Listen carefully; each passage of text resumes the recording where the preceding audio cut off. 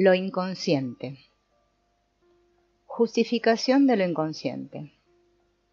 Desde muy diversos sectores se nos ha discutido el derecho de aceptar la existencia de un psiquismo inconsciente y de elaborar científicamente con esta hipótesis. Contra esta opinión podemos arguir que la hipótesis de la existencia de lo inconsciente es necesaria y legítima, y además que poseemos múltiples pruebas de su exactitud. Es necesaria porque los datos de la conciencia son altamente incompletos. Tanto en los sanos como en los enfermos, surgen con frecuencia actos psíquicos cuya explicación presupone otros de los que la conciencia no nos ofrece testimonio alguno. Actos de este género son no sólo los fallos y los sueños de los individuos sanos, sino también todos aquellos que calificamos de síntomas y de fenómenos obsesivos en los enfermos. Nuestra cotidiana experiencia personal nos muestra ocurrencias cuyo origen desconocemos y resultados de procesos mentales cuya elaboración ignoramos.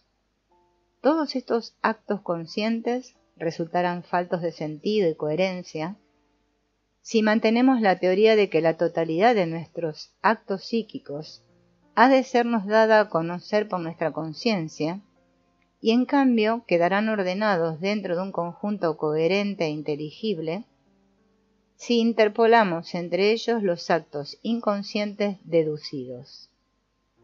Esta adquisición de sentido y coherencia constituye de por sí motivo justificado para traspasar los límites de la experiencia directa.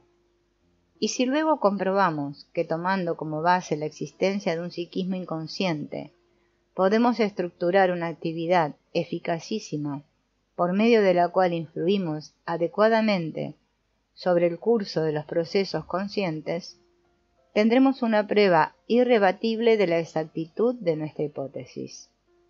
Habremos de situarnos entonces en el punto de vista de que no es sino una pretensión insostenible el exigir que todo lo que sucede en lo psíquico haya de ser conocido a la conciencia. También podemos aducir, en apoyo de la existencia de un estado psíquico inconsciente, el hecho de que la conciencia sólo integra en un momento dado un limitado contenido, de manera que la mayor parte de aquello que denominamos conocimiento consciente, tiene que hallarse de todos modos durante extensos periodos en estado de latencia, vale decir, en un estado de inconsciencia psíquica. La negación de lo inconsciente resulta incomprensible en cuanto volvemos la vista a todos nuestros recuerdos latentes. Se nos opondrá aquí la objeción de que estos recuerdos latentes no pueden ser considerados como psíquicos, sino que corresponden a restos de procesos somáticos de los cuales puede volver a surgir lo psíquico. No es difícil arguir a esta objeción, que el recuerdo latente es por el contrario un indudable residuo de un proceso psíquico. Pero es aún más importante darse cuenta de que la objeción discutida reposa en una asimilación de lo consciente a lo psíquico. Y esta asimilación es, o una petición de principio, que no deja lugar a la interrogación de si todo lo psíquico tiene también que ser consciente, o una pura convención. En este último caso resulta, como toda convención, irrebatible, y solo nos preguntamos si resulta en realidad tan útil y adecuada que hayamos de agregarnos a ella. Pero podemos afirmar que la equiparación de lo psíquico con lo consciente es por completo inadecuada. Destruye las continuidades psíquicas, nos sume en las insolubles dificultades del paralelismo psicofísico, sucumbe al reproche de exagerar sin fundamento alguno la misión de la conciencia y nos obliga a abandonar prematuramente el terreno de la investigación psicológica sin ofrecernos compensación ninguna en otros sectores. Por otra parte, es evidente que la discusión de si hemos de considerar como estados anímicos inconscientes o como estados físicos los estados latentes de la vida anímica amenaza convertirse en una mera cuestión de palabras. Así pues, es aconsejable situar en primer término aquello que de naturaleza de tales estados no sé seguramente conocido. Ahora bien, los caracteres físicos de estos estados no son totalmente inaccesibles, ninguna representación fisiológica ni ningún proceso químico pueden darnos una idea de su esencia. En cambio, es indudable que representan amplio contacto con los procesos anímicos conscientes.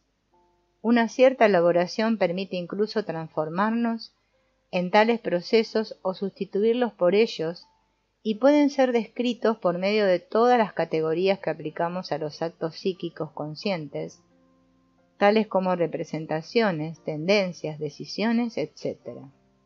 De muchos de estos estados podemos incluso decir que sólo la ausencia de la conciencia los distingue de los conscientes. No vacilaremos, pues, en considerarlos como objetos de la investigación psicológica íntimamente relacionados con los actos psíquicos conscientes. La tenaz negativa a admitir el carácter psíquico de los actos anímicos latentes se explica por el hecho de que la mayoría de los fenómenos de referencia no han sido objeto de estudio fuera del psicoanálisis. Aquellos que desconociendo los hechos patológicos consideran como casualidad los actos fallidos y se agregan a la antigua opinión de que los sueños son vana espuma, no necesitan ya sino pasar por alto algunos enigmas de la psicología de la conciencia para poder ahorrarse el reconocimiento de una actividad psíquica inconsciente.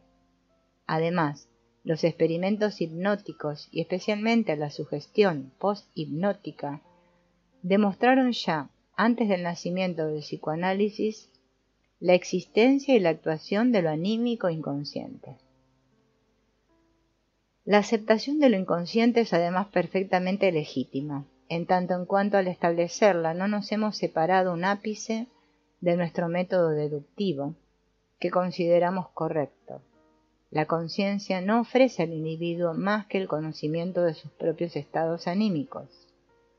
La afirmación de que también los demás hombres poseen una conciencia es una conclusión que deducimos, per analogiam, basándonos en sus actos y manifestaciones perceptibles, y con el fin de hacernos comprensible su conducta. Más exacto, psicológicamente, será decir que atribuimos a los demás, sin necesidad de una reflexión especial, nuestra propia constitución y por lo tanto también nuestra conciencia, y que esta identificación es la premisa de nuestra comprensión. Esta conclusión o esta identificación hubo de extenderse antiguamente desde el yo, no sólo a los demás hombres, sino también a los animales, plantas, objetos inanimados y al mundo en general, y resultó utilizable mientras la analogía con el yo individual fue suficientemente amplia dejando luego de ser adecuada conforme lo demás fue separándose del yo. Nuestra crítica actual duda en lo que respecta a la conciencia de los animales, la niega a las plantas y relega al misticismo la hipótesis de una conciencia de lo inanimado.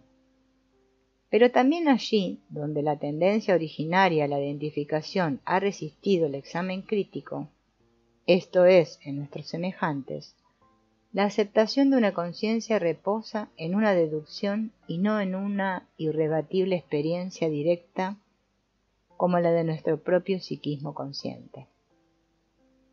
El psicoanálisis no exige sino que apliquemos también este procedimiento deductivo a nuestra propia persona, labor en cuya realización no nos auxilia ciertamente tendencia constitucional alguna.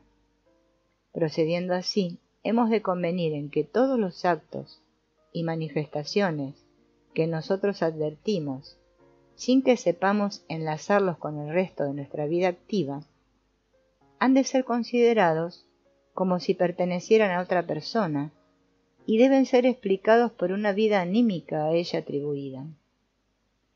La experiencia muestra también que, cuando se trata de otras personas, sabemos interpretar muy bien, esto es, incluir en la coherencia anímica, aquellos mismos actos a los que negamos el reconocimiento psíquico cuando se trata de nosotros mismos. La investigación es desviada, pues, de la propia persona por un obstáculo especial que impide su exacto conocimiento.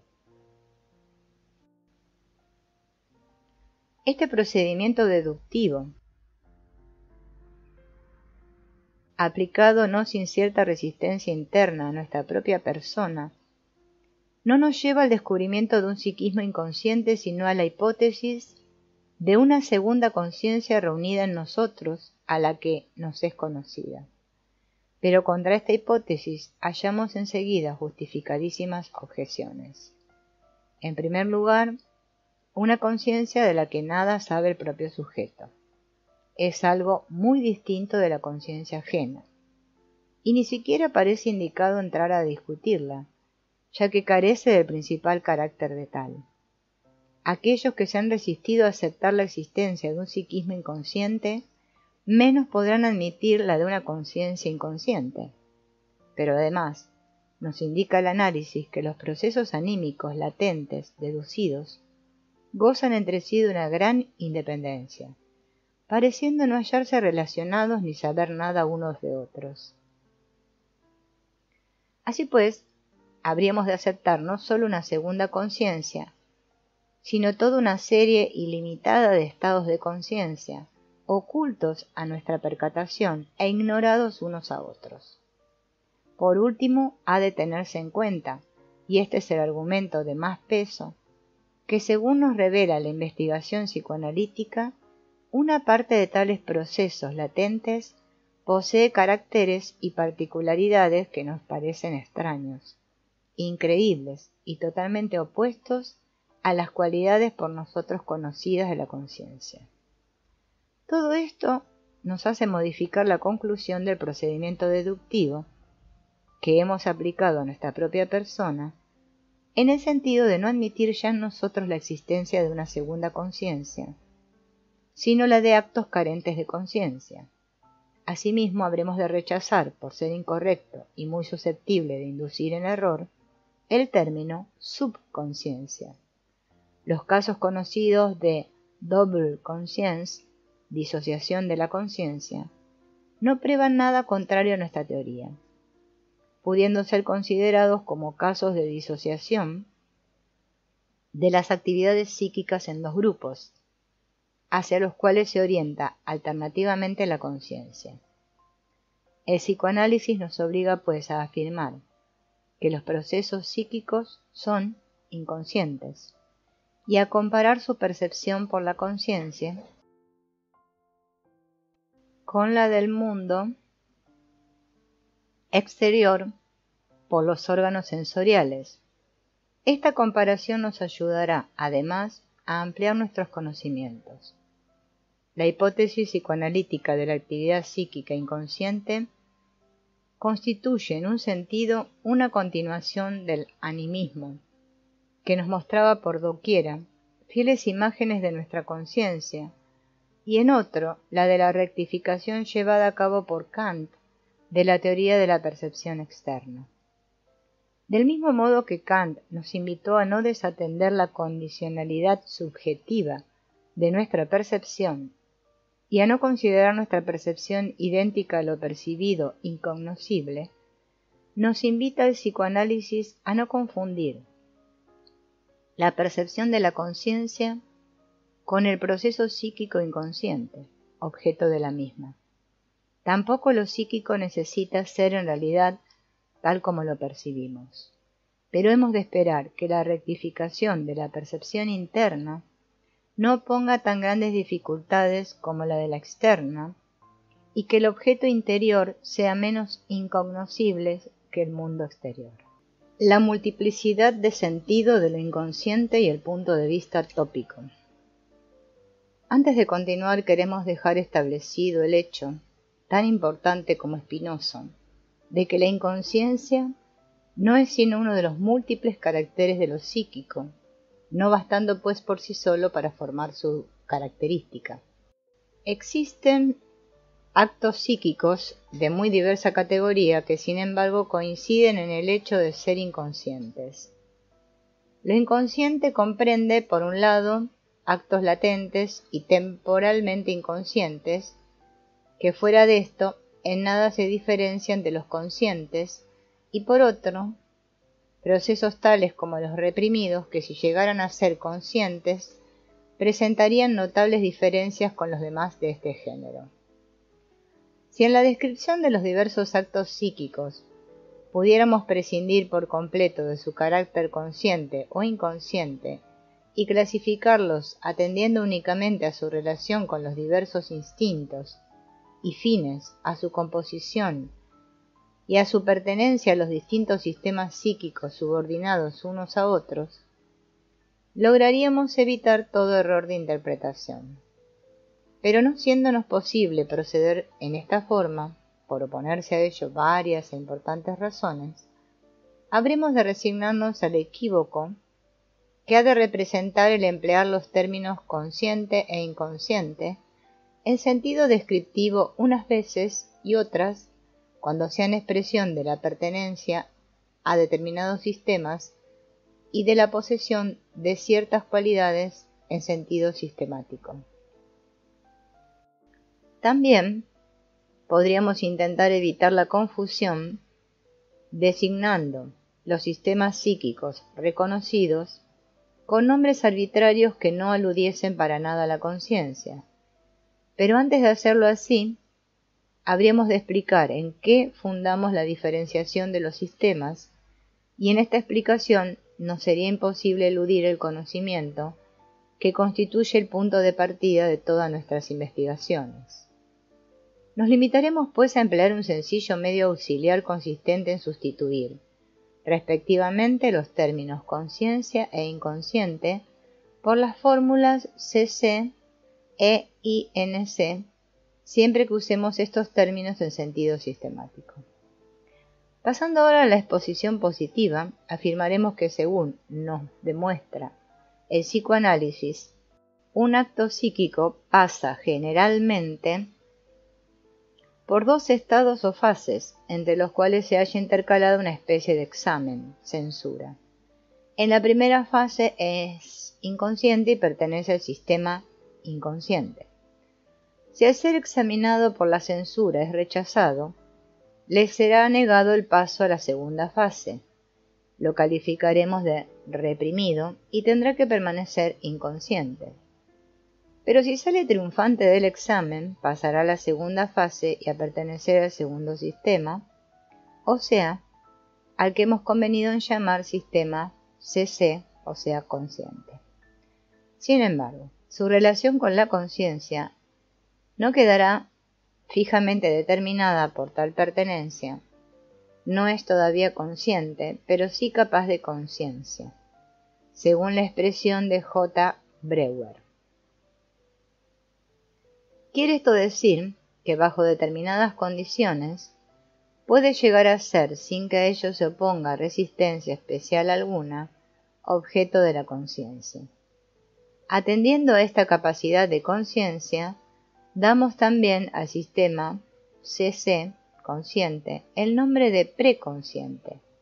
Si más adelante resulta que también el acceso de lo preconsciente a la conciencia se haya codeterminado por una cierta censura, diferenciaremos más precisamente entre los sí del preconsciente y el consciente.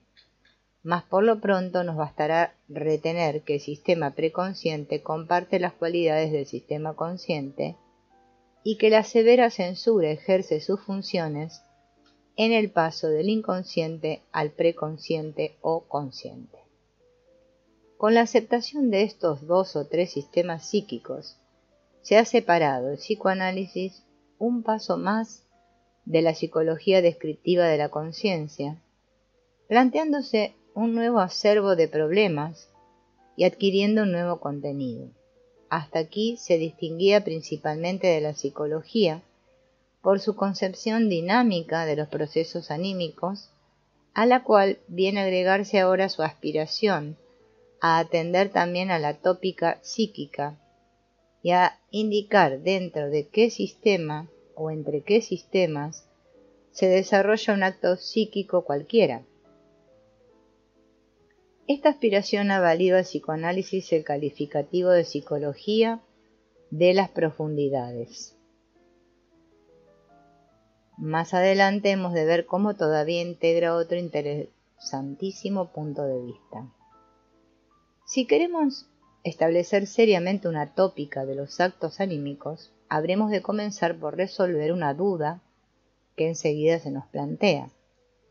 Cuando un acto psíquico, imitándonos aquí a aquellos de la naturaleza de una representación, pasa del sistema inconsciente al sistema consciente, hemos de suponer que con este paso se haya enlazada una nueva fijación, o como pudiéramos decir, una segunda inscripción de la representación de que se trate, inscripción que de este modo podrá resultar integrada en una nueva localidad psíquica, y junto a la cual continúa existiendo la primitiva inscripción inconsciente?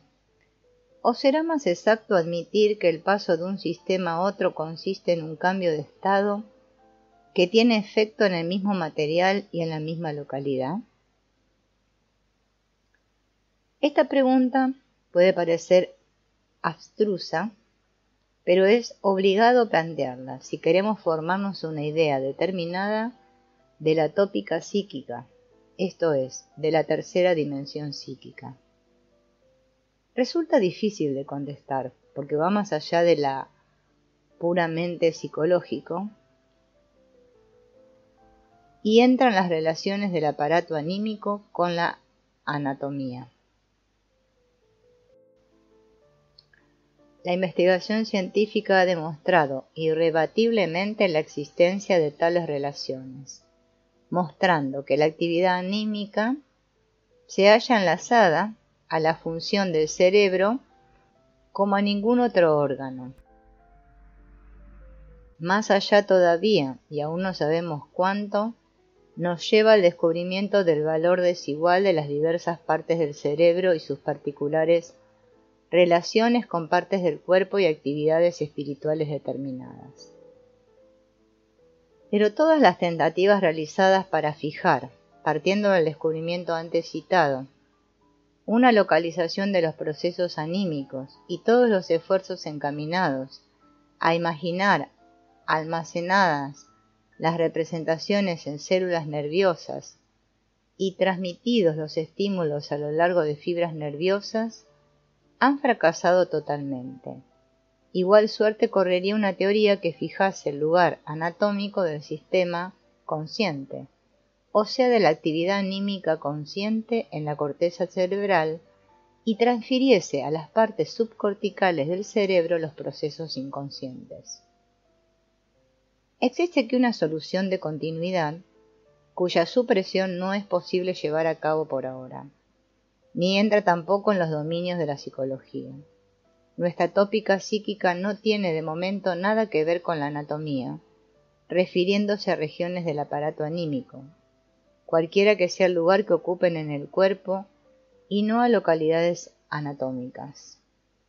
Nuestra labor en este aspecto es de completa libertad y puede proceder conforme vayan marcándoselo sus necesidades. Nuestra labor en este aspecto es de completa libertad y puede proceder conforme vayan marcándoselo sus necesidades. De todos modos, no debemos olvidar que nuestra hipótesis no tienen en un principio otro valor que el de simples esquemas aclaratorios. La primera de las dos posibilidades que antes expusimos, o sea, la de que la fase consciente de la representación significa una nueva inscripción de la misma en un lugar diferente, es desde luego la más grosera, pero también la más cómoda. La segunda hipótesis, o sea, la de un cambio de estado meramente funcional, es desde un principio más verosímil, pero más plástica y manejable. Con la primera hipótesis tópica aparecen enlazadas la de una separación tópica de los sistemas inconsciente y consciente, y la posibilidad de que una representación exista simultáneamente en dos lugares del aparato psíquico, e incluso pase regularmente del uno al otro, sin perder eventualmente su primera residencia o inscripción. Esto parece extraño, pero podemos alegar en su apoyo determinadas impresiones que recibimos durante la práctica psicoanalítica. Cuando comunicamos a un paciente una representación por él reprimida en su día y adivinada por nosotros, esta revelación no modifica nada al principio su estado psíquico. Sobre todo no levanta la represión ni anula sus efectos, como pudiera esperarse, dado que la representación antes inconsciente ha devenido consciente. Por el contrario, solo se consigue al principio una nueva repulsa de la representación reprimida. Pero el paciente posee ya efectivamente en dos distintos lugares de su aparato anímico y bajo dos formas diferentes la misma representación. Primeramente posee el recuerdo consciente de la huella auditiva de la representación tal y como se la hemos comunicado, y además tenemos la seguridad de que lleva en sí, bajo su forma primitiva, el recuerdo inconsciente del suceso de que se trate el levantamiento de la represión no tiene efecto en realidad, hasta que la representación consciente entra en contacto con la huella mémica inconsciente después de haber vencido las resistencias. Solo el acceso a la conciencia de dicha huella mémica inconsciente puede acabar con la represión. A primera vista parece esto demostrar que la representación consciente y la inconsciente son diversas inscripciones, tópicamente separadas del mismo contenido. Pero una reflexión más detenida nos prueba que la identidad de la comunicación con el recuerdo reprimido del sujeto es tan solo aparente. El haber oído algo y el haber vivido son dos cosas de naturaleza psicológica totalmente distinta aunque posean igual contenido. No nos es factible de momento decidir entre las dos posibilidades indicadas. Quizá más adelante hallaremos factores que nos permitan tal decisión, o descubramos que nuestro planteamiento de la cuestión ha sido insuficiente y que la diferenciación de las representaciones conscientes e inconscientes ha de ser determinada en una forma completamente distinta.